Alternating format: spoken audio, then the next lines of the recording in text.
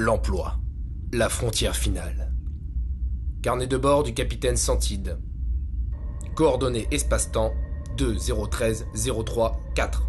Depuis la déflagration de 2008, nous avons perdu tout contact avec l'amiral en chef de la flotte MEDEF. Les derniers ordres de l'amiral Parizeau nous incitaient à maintenir notre cap vers le système Liberos, dans la galaxie Capitalis. À ce jour, nous n'avons encore rencontré aucune forme de vie intelligente et nous désespérons de pouvoir accomplir notre mission.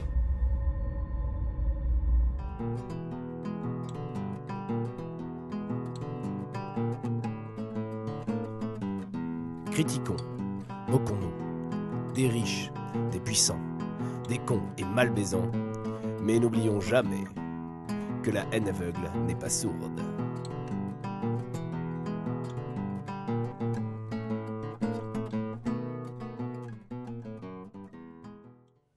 Bonjour à tous. Travailler est très certainement le moyen le plus efficace qu'a trouvé l'homme avec une grande hache pour ne pas passer son temps à batifoler la trompe ou la toison à l'air dans les pâturages bordés de frivolité. Cette activité pousse les individus disposant de l'encombrant libre arbitre à s'en débarrasser 40 heures par semaine et s'organise suivant plusieurs modèles que l'on pourrait qualifier de sociaux. Or, de toutes les méthodes d'agencement que notre espèce ait été en mesure d'inventer pour justifier de ne pas être comme les autres animaux, l'entreprise semble s'imposer comme la forme ultime de discipline sociale. Mais c'est loin d'être la seule. N'importe lequel d'entre nous, à part ce pauvre Rémi, avons connu une autre matrice propice au travail, la famille. Bonjour et bienvenue à cette 25e assemblée plénière de la famille Baudin. Alors nous allons voir aujourd'hui les résultats pour l'année en cours. Et nous allons débuter cette assemblée plénière par un petit organigramme de la société. Alors comme vous pouvez le constater, la société se découpe en deux grandes parties, la direction et les autres.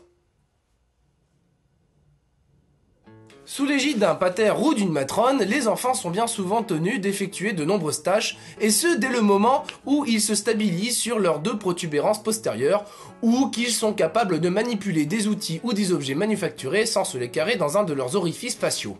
Comme pour vite faire comprendre aux préhumains émanant de ses entrailles que la vie n'est pas qu'un long fleuve paisible de siestes postprandiales, de généreux tétons pourvoyeurs de lactose tiède ou de séances de mouchage, de torchage et de lavage prodiguées sur commande lacrymale, le parent s'obstine à lui faire subir les plus ingrates des besognes. En parallèle, la larve anthropomorphe se devra de prouver son intelligence à travers les études, ses réflexes et sa force physique grâce au sport, et son imagination débordante à l'aide des gribouillis immondes et déformés qui ornent frigos et open space de toute la planète, tout cela pour obtenir la fierté de ses géniteurs qui constituera son seul et unique revenu. Papatron, papatron Quoi? Qu'est-ce que tu veux mon petit? Regarde, papatron, je vous ai Ouais. fait un joli dessin.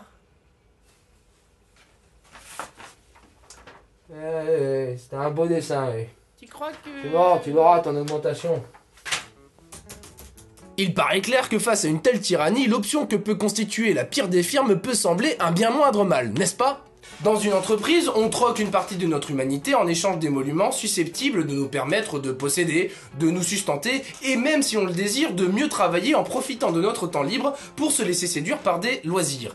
En effet, un bourricot à qui l'on promet une semaine de ski à l'issue d'une certaine quantité d'hectares labourés s'exécutera avec d'autant plus d'ardeur.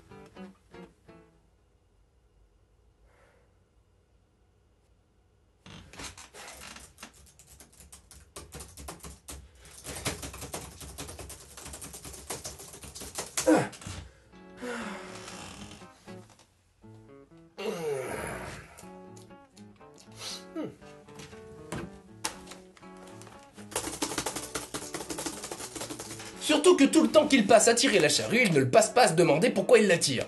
Vous me direz, pas de quoi fouetter un Charles jusque-là. Pourtant, on ne saurait être abusé plus longtemps car une différence fondamentale sépare les deux systèmes malgré leur apparente similarité. Haha. Si un employeur quelconque consent à verser une rétribution à son subalterne, cela résulte du fait que le dernier autorise le premier à tirer un profit de sa production, et que pour ce faire, le travailleur s'assoit allègrement sur la liberté que lui confère tout régime prétendument démocratique. En un mot commençant, la rémunération salariale sert de lubrifiant à l'exploitation du libre arbitre.